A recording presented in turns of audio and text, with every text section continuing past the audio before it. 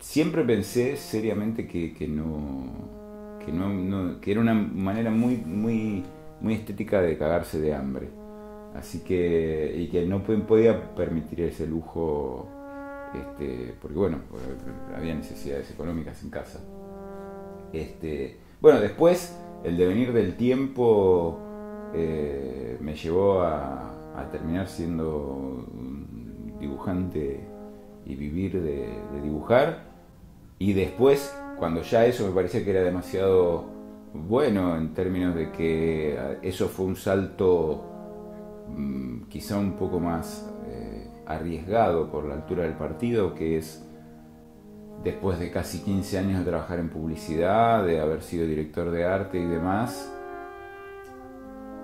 asumir primero no trabajar más bajo relación de dependencia en una agencia de publicidad, para ir tratando de empezar a vivir de dibujar. Eso fue una decisión bastante arriesgada que me llevó a tener un par de años difíciles, en donde iba reconvirtiendo eh, la ilustración en donde cada vez que me llamaba por teléfono un cliente y yo le decía, mirá, no, ahora estoy haciendo ilustración,